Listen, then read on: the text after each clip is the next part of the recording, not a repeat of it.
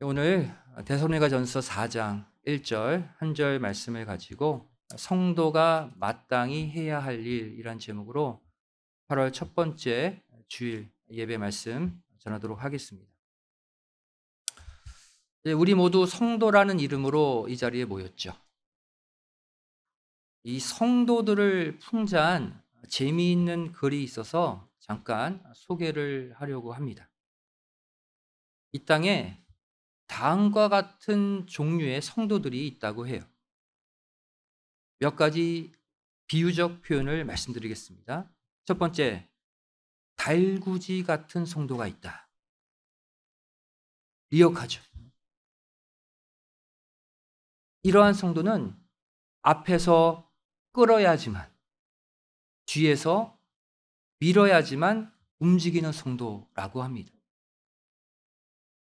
또 하늘을 나는 연 같은 성도가 있다.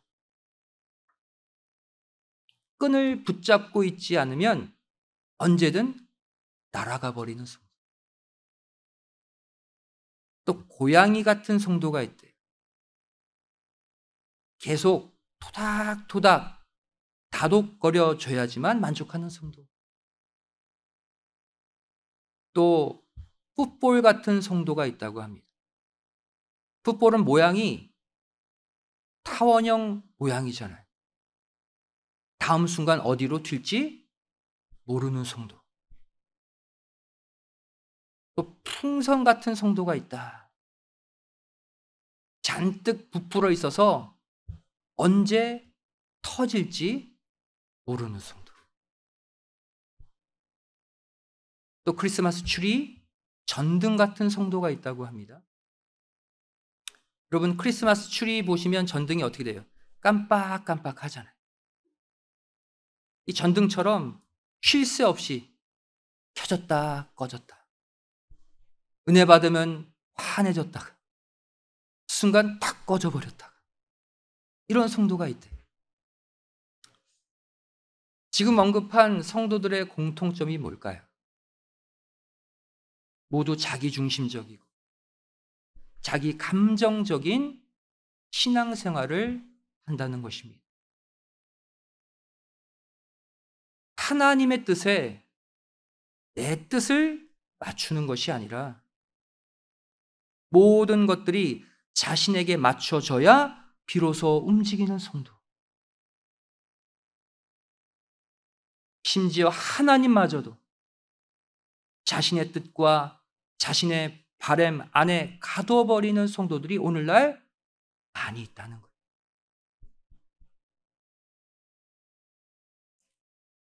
성도는 분명 하나님의 자녀가 되는 특권이 있습니다.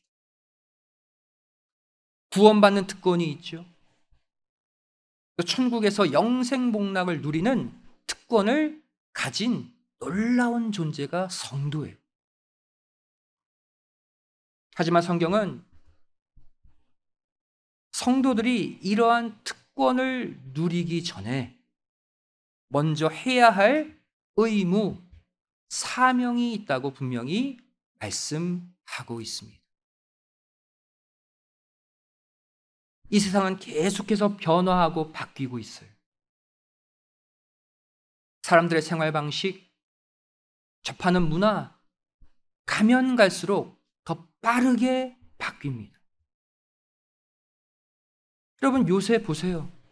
초등학생부터 80세 어르신들까지 모두 손에 스마트폰을 쥐고 있잖아요. 얼마 전까지만 해도 상상도 하지 못할 문화를 우리 모두가 누리고 있어요. 하지만 여기서 우리가 절대로 잊지 말아야 될 영적인 메시지가 하나 있습니다. 이렇게 세상 모든 것들이 빠르게 계속해서 쉬지 않고 바뀌고 있지만 무엇만큼은 하나님의 마음은 하나님의 말씀 성경은 옛날이나 지금이나 바뀌지 않고 여전히 동일하다는 사실이 세상의 환경과 문화에 따라 말씀이 바뀝니까? 하나님이 바뀌어요?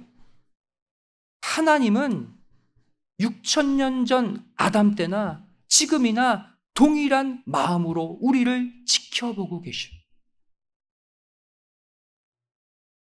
그렇다면 이렇게 모든 것들이 바뀌고 있는 마지막 종말의 시대를 살고 있는 우리들이 해야 할 일이 무엇인가요? 빠르게 바뀌는 세상 문화 환경에 적응한다? 그것이 아니라 오히려 다시 전혀 바뀌지 않고 동일한 성경으로 우리가 돌아가는 것입니다. 설사 현재 시대의 흐름, 이것에 맞지 않고 역행하는 것처럼 보인다 할지라도 우리는 시대의 흐름이 아니라 말씀, 성경, 하나님의 마음을 따라 살아야 한다는 것이죠. 따라서 당연히 성도의 삶은 마지막 때로 가면 갈수록 힘들 수밖에 없어요. 왜? 바뀌어지는 세상과 바뀌지 않는 하나님 사이에 우리가 있거든.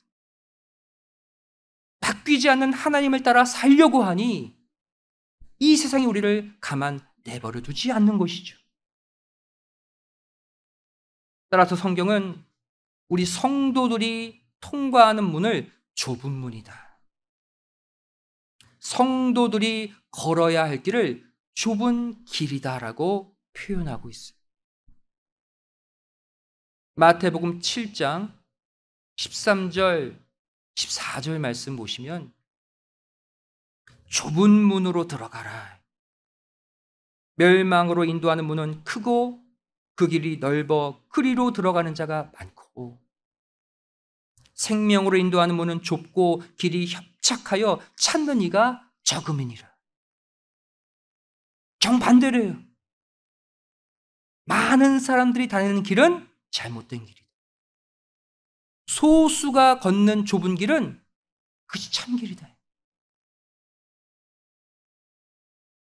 예를 하나 들어볼까요? 지금 우리가 맞이하고 있는 오늘이 무슨 요일이에요? 세상에서는 뭐라 불러요? 세상에서는 주일이라고 말하지 않습니다. 일요일. 또 어떤 사람은 빨간 날, 쉬는 날, 공휴일. 세상에 많은 사람들은 어떻게 오늘을 살아갑니까? 친구 만나서 카페 가고, 영화 보고, 술 마시고, 가족끼리 좋은 데 놀러 가고. 이것이 세상 모든 사람들이 하고 있는 일상의 일입니다. 모두가 걷는 길이 넓은 길이. 하지만 그들은 모두 멸망을 향해 가고 있다고 하나님은 평가하시오. 반면 우리에게 있어 오늘은 어떤 날입니까? 단순히 일요일 빨간 날이 아니라 쉬는 날이 아니라 나의 날이 아니라 주님의 날이다. 그래서 우리는 주일이라고 부르지 않습니까? 우리는 이날에 무엇을 합니까? 아침 일찍부터 나와서 성경 공부하잖아요. 또 성가대 연습하고 찬양 연습하잖아요. 또 식사 준비하죠. 신앙의 교제를 위해서.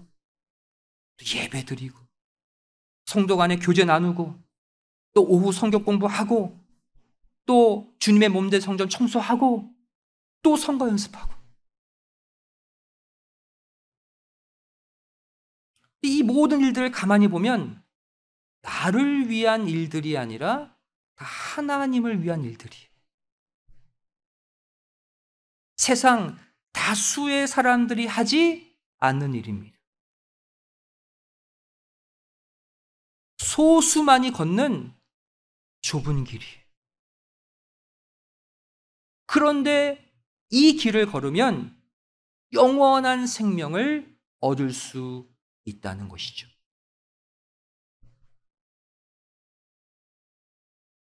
이렇게 세상 수많은 다수의 사람들과 우리 성도들은 그 끝이 완전히 다르다는 사실을 꼭 믿으시기 바랍니다.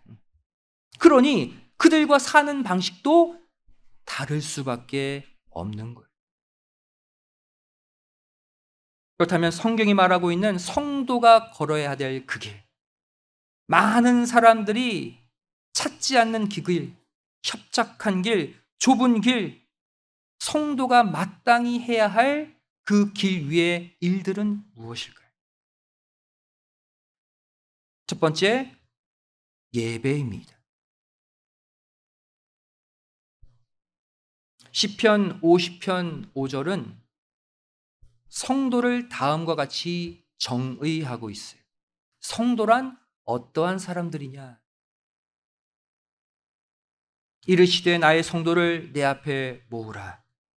곧 제사로 나와 언약한 잔이라. 성도가 누구래요? 성도는 정해진 시간에 하나님께 예배 드리기로 약속한 자들이라고 정확히 정의하고 있습니다. 한마디로 성도는 예배자예요.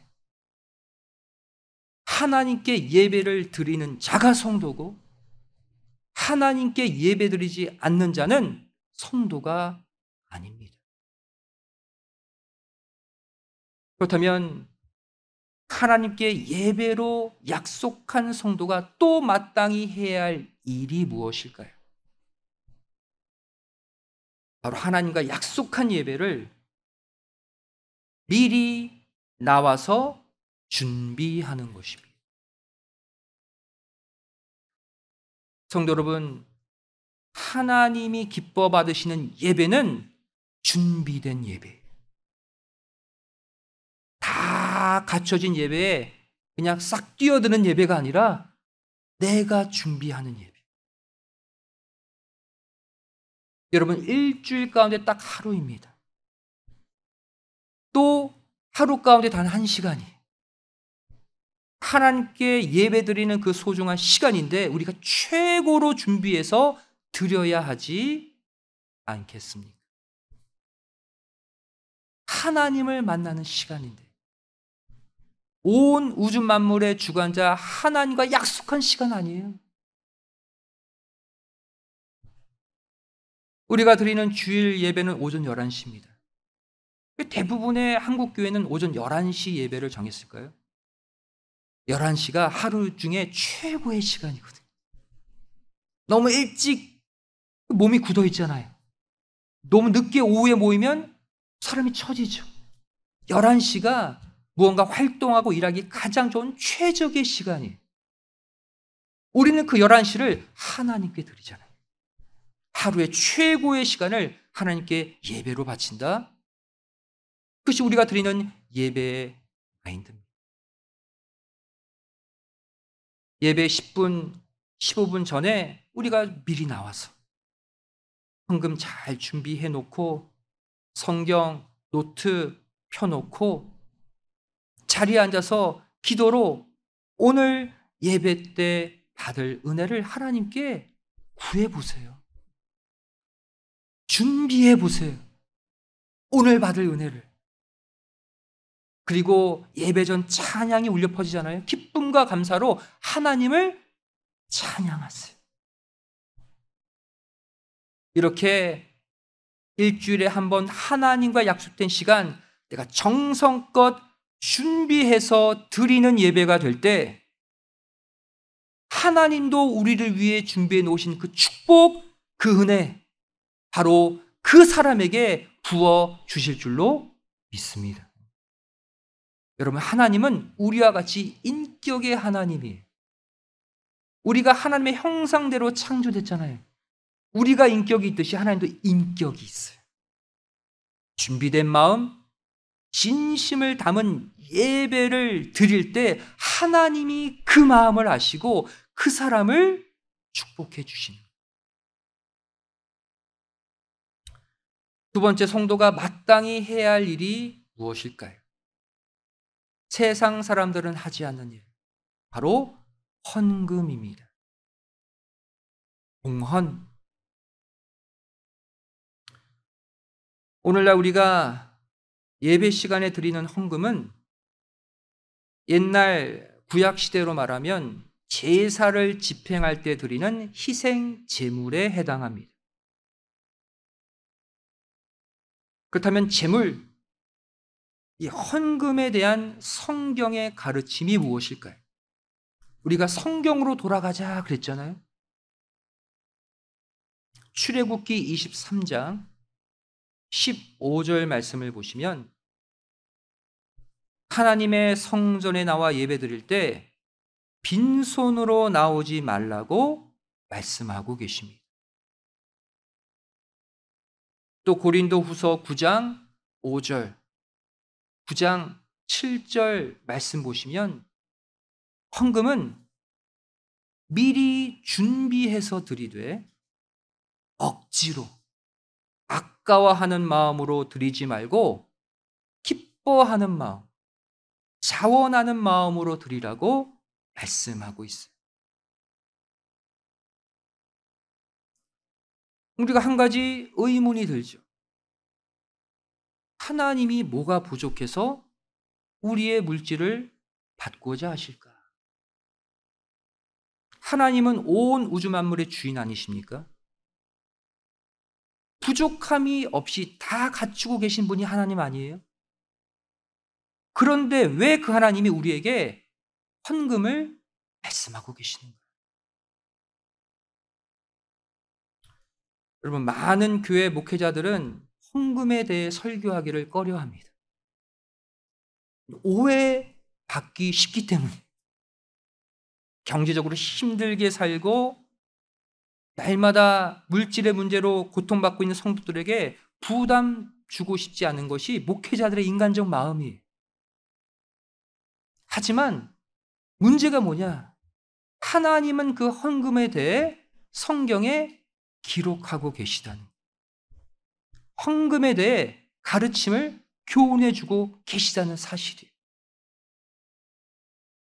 하나님께 예배드리러 나올 때 빈손으로 나오지 말라. 또 헌금 드릴 때 아까워하지 말고 자원하는 마음으로 드려. 하나님은 성도들에게 왜 이 일을 명하셨을까요? 우리 다 같이 로마서 11장 36절을 찾아서 읽어보도록 하겠습니다. 바로 여기에 우리가 하나님께 봉헌해야 하는 이유가 담겨져 있어요. 신약성경 로마서 11장 36절입니다.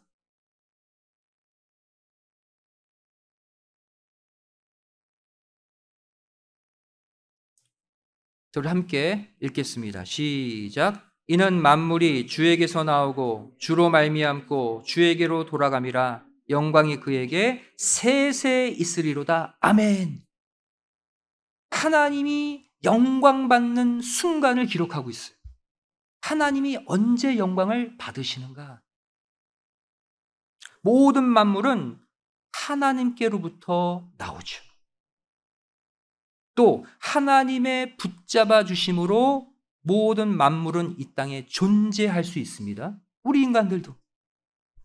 근데 결국 모든 만물은 하나님께로 돌아가야 한다는 거예요. 그 순간 하나님이 영광을 받게 되신다는 거예요.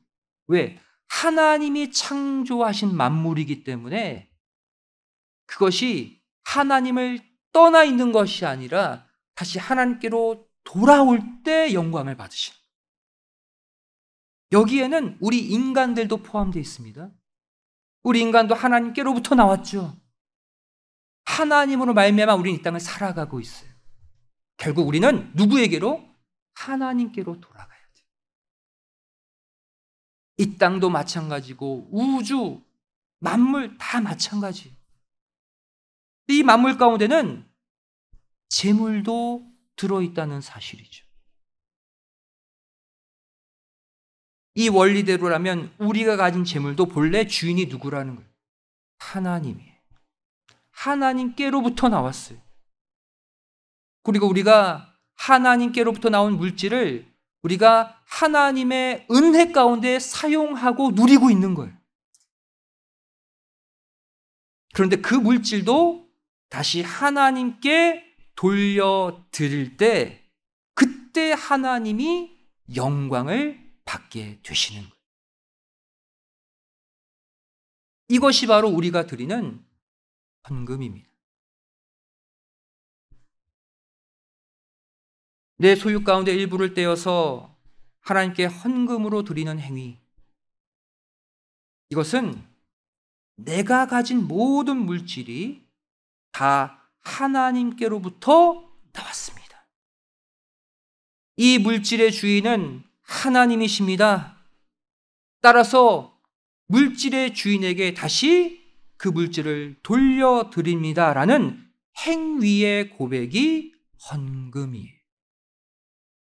그러니까 인간도 물질도 이 땅도 다 하나님께 돌아가야 그때 그때 영광을 받으시고. 그러니까 하나님이 우리가 하나님이 주인이십니다 하며 물질을 드릴 때 영광을 받게 되시고 영광 받으신 하나님은 가만 계시지 않거든요. 우리에게 더 많은 것으로 채워주시고 축복하시는 하나님이심을 믿으시기 바랍니다. 여러분, 하나님이 10달러, 20달러 없어서, 부족해서 우리에게 달라고 하시는 게 아니에요. 모든 물질의 주인이 하나님이십니다. 우리가 고백하며 바칠 때, 그래? 더 많은 물질로, 더 많은 축복으로 채워 주시려고 달라고 하시는 거예요. 우리가 헌금의 의미를 분명히 알아야 돼. 이렇게 우리가 드림으로 하나님의 더 크신 축복을 받는 헌물의 원리를 가장 잘 보여주는 대표적인 헌금이 11조 헌금입니다. 11조 헌금이 뭐예요? 내 소득의 10분의 1을 떼어서 하나님께 드리는 헌물이죠. 이 11조 헌금에 관한 말씀이 어디 기록되어 있냐면 구약의 마지막 선지자, 구약의 마지막 성경 말라기서에 기록되어 있어요. 다 같이 말라기서 3장 10절 말씀을 찾아보도록 하겠습니다. 하나님은 구약을 마무리하시면서 마지막 선지자 말라기에게 특별히 11조 헌금을 말씀하도록 하셨어요. 말라기 3장 10절 함께 읽겠습니다. 시작. 만군의 여호와가 이르노라 너희의 온전한 11조를 창고에 들여 나의 집에 양식이 있게 하고 그것으로 나를 시험하여 내가 하늘 문을 열고 너희에게 복을 쌓을 것이 없도록 붙지 아니하나 보라. 하나님이 아주 공격적으로 말씀하시죠. 내가 여러 루트로 너에게 축복을 주는데 11조만큼은 내가 작심하고 쏟아 부어 줄 테니 나 시험해 그랬어. 여러분 마태복음 4장 7절 말씀 보시면 우리 인간 보고 절대 하나님을 시험하지 말라고 하셨습니다. 그런데 11조 헌금을 가지고는 시험하래. 이 소득의 10분의 1 떼어서 한번 바쳐봐. 내가 정말 너 정신 못 차리도록 쏟아 부어주지 않나 한번 시험해봐. 그만큼 축복 주시는데 자신이 있으시다는 거예요. 여러분, 우리가 봉헌하는 목적을 이제 아시겠어요? 하나님이 우리의 물질을 요청하시는 목적은 복 주시기 위함이라. 네가 하나님 나를 인정해? 만물의 주인, 물질의 주인이 나인 것을 인정해 그 인정만 받고 싶은 거예요. 인정해 주면 더 큰 걸로 갚아 주겠다는 거예요. 그게 우리가 드리는 헌금이에요. 11주의 원리는 이렇습니다. 본래 로마서 11장 36절의 원리대로라면 내가 가진 모든 것이 다 하나님 거죠. 그럼 하나님께 다 돌려드려야 돼요. 그러면 우리가 이 땅에서 살아갈 수가 없잖아요. 우리도 물질 사용하고 먹고 살아야 되는데. 그래서 하나님께서 그래 네가 가진 10개 가운데 한 개만 나에게 바치면 나머지 아홉 개도 나에게 다 바친 것으로 내가 인정하고 넘치도록 부어 주겠다라는 약속이 11조예요. 여러분, 하나님이 우리의 헌금을 통해 확인하고자 하시는 것은 단 하나입니다. 누가 얼마 했나 이거 보시지 않아요. 그 헌금을 통해 하나님을 향한 우리의 마음을 확인 하고자 하시는 그 말씀이 마태복음 6장 21절입니다. 우리 함께 찾아서 읽어보도록 하겠습니다. 왜 하나님은 우리의 물질을 요구하시는가? 우리의 마음을 확인할 수 있는 방법이 그것이기 때문이에요. 마태복음 6장 21절 말씀 함께 읽겠습니다. 시작. 내 보물 있는 그곳에는 내 마음도 있느니라. 속일 수 없거든요. 내 물질이 가는 곳에 내 마음도 함께 간다는 거예요. 네가 네가 갖고 있는 물질을 어디에 주로 사용하느냐에 따라 네 마음은 거기에 주로 가 있다는 거예요. 여러분 그렇지 않습니까?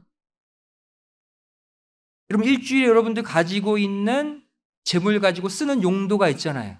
어디에 주로 쓰세요? 식비? 먹는 것에 많이 돈이 들어간다? 그럼 마음이 주로 삶 가운데 먹는 데 들어가 있는 거예요. 속일 수 없습니다. 한국에 어, 어떤 사람이 있어요. 이런 사람이 뉴스에 나왔습니다. 이 사람이 비싼 외제 스포츠카를 샀어요. 한국에서. 근데 거기에 돈을 다 투자해가지고 집이 없어요. 단칸반도. 이 사람은 그 비싼 외제차 안에서 먹고 자고 해요. 그게 자기 집이야. 다른 사람들이 볼 때는 완전 정상이 아니죠. 아니, 단칸방이라도 살고, 사고, 남은 돈으로 거기에 맞는 차를 사야지. 이 사람은 아니라는 거예요. 이 사람은 차 안에서 먹고 자고 해도 늘 행복해. 왜 그렇습니까? 마음이 온통 그 브랜드, 그 차에 가 있거든요. 설사 집이 없어도 그 차 하나 가진 것에 그 차에 내 모든 돈을 투자한 것이 아깝지 않은 거예요. 이게 우리 인간의 마음. 물질을 보면 마음을 알 수가 있어요. 하나님도 마찬가지입니다. 하나님 저 사랑해요. 하나님만 생각해요. 그래? 그것을 무엇으로 확인하시겠다는 거예요? 헌금, 봉헌. 이 땅에 물질 싫어하는 사람이 어디 있습니까? 물질 안 아까워하는 사람이 어디 있어요? 네가 나 사랑하면 물질로 그 마음을 표현해 봐. 이것이 헌금이라는 거예요. 매주 드리는 헌금이 내가 아깝다. 헌금 들 때마다 마음이 어두워. 답답해. 그거는 하나님을 그만큼 사랑하지 못하고 있다는 증거예요. 반면 비록 적은 물질이지만 내가 기쁨으로 감사함으로 하나님께 드려. 그만큼 이 사람은 하나님을 늘 기뻐하고 감사하는 삶을 산다는 거예요. 하나님은 그 마음을 예배 가운데 봉헌의 시간을 통해 확인받고 싶으신 거예요. 따라서 오늘부터 우리가 이전에 팬데믹으로 중단한 예배 중 헌금 시간을 다시 하고자 합니다. 예전에는 서로 대면하기가 힘들어서 헌금통을 따로 놓고 들어오며 나가며 우리가 봉헌을 했잖아요. 근데 봉헌하는 시간은 가만히 보면 내 물질만 드리는 것이 아니라 아까 얘기했죠. 내 모든 물질의 주인은 하나님이십니다. 내 삶의 주인은 하나님이십니다. 하나님, 저 하나님 사랑해요. 이 마음을 담아 드리는 소중한 예배의 한 순서라는 거예요. 모든 것이 하나님께로부터 왔습니다. 감사의 고백이 봉헌의 시간이에요. 오늘부터 다시 시작되는 이 봉헌의 시간을 통해서 오히려 이전에 받지 못했던 영, 육간, 부요의 축복, 하나님이 준비해 놓으신 그 축복을 다 되찾아오는 모두가 되시기를 주님의 이름으로 간절히 축원드리겠습니다. 마지막으로 우리 성도가 마땅히 해야 할 일 무엇일까요? 무엇이 안 나왔어요, 지금? 영혼 구원의 일. 전도입니다. 여러분, 전도는 삼위일체 하나님, 성부 하나님, 성자 하나님, 성령 하나님의 공통적 사역이 성부 하나님의 사역 전도라고 말하고 있어요. 마태복음 18장 14절 말씀 보시면 이와 같이 이 소자 중에 하나라도 이루어지는 것은 하늘에 계신 너희 누구 아버지의 뜻이 아니니라. 성부 하나님의 뜻이 뭐래요? 한 영혼이라도 다 찾아오는 것, 전도라는. 또 성자 예수님의 사명도 전도였어요. 누가복음 5장 32절 말씀 보시면 내가 의인을 부르러 온 것이 아니요 죄인을 불러 회개시키러 왔노라. 뭐하러 오셨다는 거예요 한마디로? 전도하러 오셨다는 거예요. 그 영혼들에게 회개시키고 하나님 믿게 해서 다시 하나님의 자녀 만드는 것 전도하러 오셨다고 성자 예수님도 말씀하고 있어요. 또 성령 하나님 그분의 사역도 마찬가지입니다. 사도행전 1장 8절 말씀 보시면 오직 성령이 너에게 임하시면 그랬죠. 어떠한 일이 일어난대요? 너희가 권능을 받고 예루살렘과 온 유대와 사마리아와 땅끝까지 이르러 내 증인이 될 것이다. 성령의 사람은 복음을 전하고 전도하는 증인의 삶을 살게 된다고 말씀하고 있어요. 우리는 성도로 부름받은 순간부터 이미 이 전도의 사명을 부여받은 것입니다.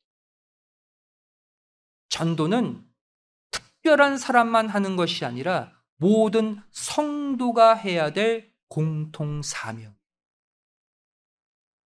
왜 그렇습니까? 하나님이 우리를 당신의 자녀 삼으신 이유 자체가 바로 다른 영혼을 구원하는 전도이기 때문.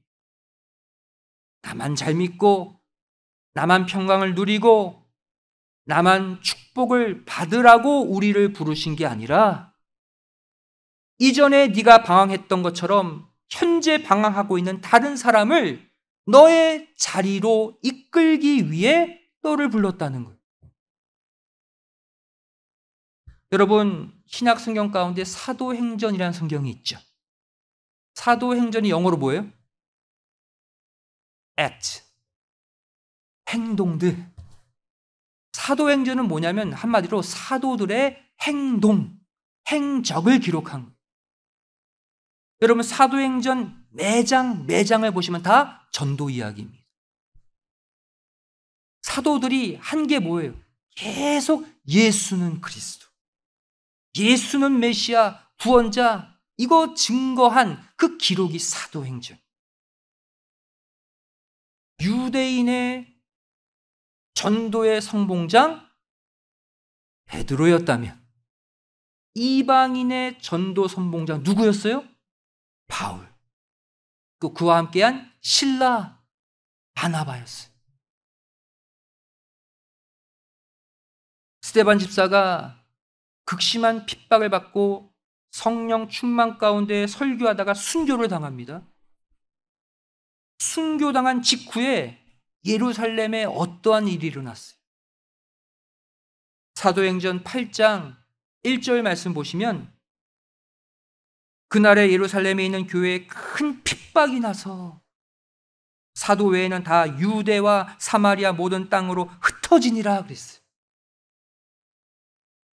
성령을 받았나. 이제 복음을 증거하고 믿음의 영역을 확장시켜 나가야 될 그 중요한 순간에 스테반 집사가 순교 당하고 이후에 엄청난 핍박으로 사도회 다 사방으로 흩어졌어요.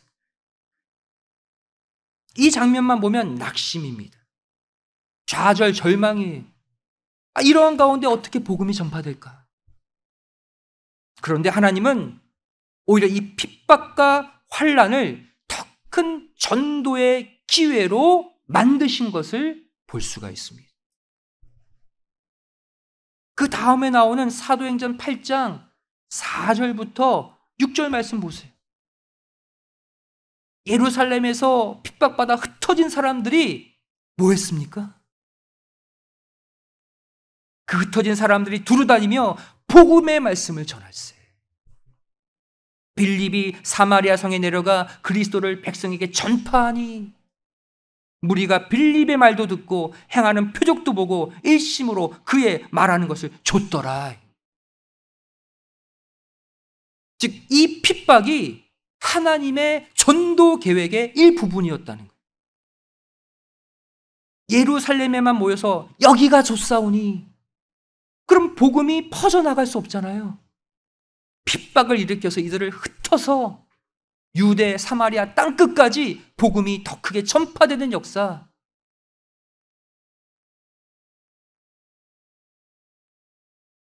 이제 이 8월 달부터 11월 우리 추수감사 주일에 새생명 대축제를 할 거예요. 이 11월 이 전도 대축제 때까지 이제 매달 마지막 주일 전도지를 들고 노방 전도를 나갈 것입니다. 그리고 8월 말 첫 번째 노방 전도를 위해서 돌아오는 주일부터 3주간 오전 9시 30분 성경 공부 시간에 전도 특강하고 영혼 구원을 위해 기도회를 할 거예요. 우리가 그동안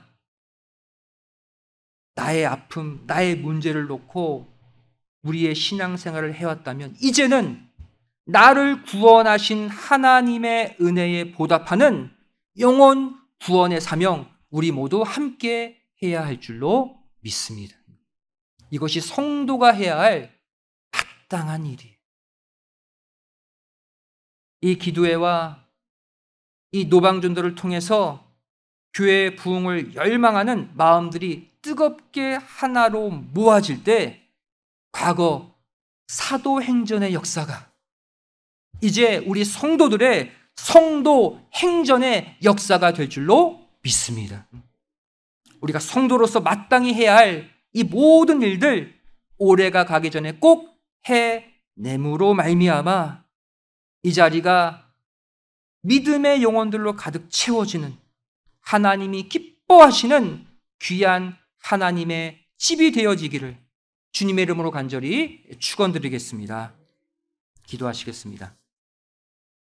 사랑 많으신 아버지 하나님, 저희를 이 땅에 변화와 이 땅에 바뀌는 생활 양식에 따라가다 보니 바뀌지 않는 하나님의 마음, 변함이 없는 하나님의 말씀을 놓치고 산 적이 얼마나 많습니까?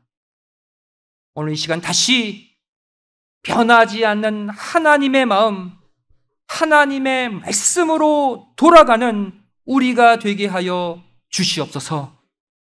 성도로서 마땅히 해야 할 일, 그 일을 넉넉히 해 드림으로 말미암아 이제 하나님의 자녀로 이 죄악된 세상을 정복하고 믿음의 전진을 하는 승리자 이스라엘들이 다 되게 하여 주시옵소서 감사드리오며 사랑 많으신 예수님의 이름으로 기도드리옵나이다. 아멘.